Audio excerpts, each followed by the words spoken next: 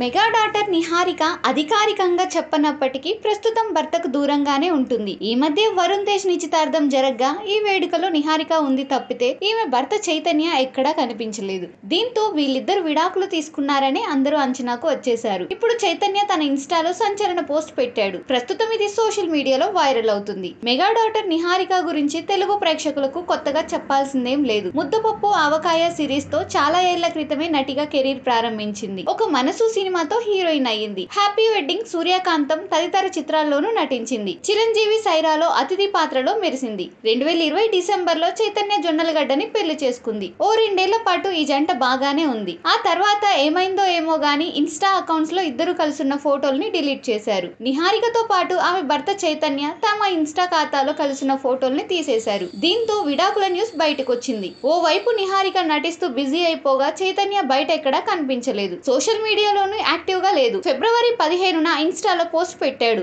దాదాపు నాలుగు నెలల తర్వాత మళ్ళీ ఇప్పుడే ఓ పోస్ట్ పెట్టాడు. ప్రస్తుతం మహారాష్ట్రలోని ఓ మెడిటేషన్ సెంటర్లో ఉన్నట్లు ఫోటోలు చూస్తే అర్థమవుతుంది. ఈ స్థలం నన్ను ఇక్కడికి వచ్చేలా చేసిన ప్రతి ఒక్కరికి రుణపడి ఉంటాను. గత పది రోజులుగా నా జీవితంలోకి వచ్చిన విపాసన ప్రక్రియ one of the best experience. మనం ఓ చోటికి ఎలాంటి అంచనాలు లేకుండా వెళ్ళి అద్భుతమైన జ్ఞానంతో తిరిగి వస్తుంటాం. ఇది అలాంటిది అని చైతన్య రాసుకొచ్చాడు. ముంబైలోని గ్లోబల్ విపాసన పగోడా అనేది ఓ మెడిటేషన్ సెంటర్. ప్రస్తుతం చైతన్య అక్కడే ఉన్నాడు. ఇదే విషయాన్ని బయట పెట్టాడు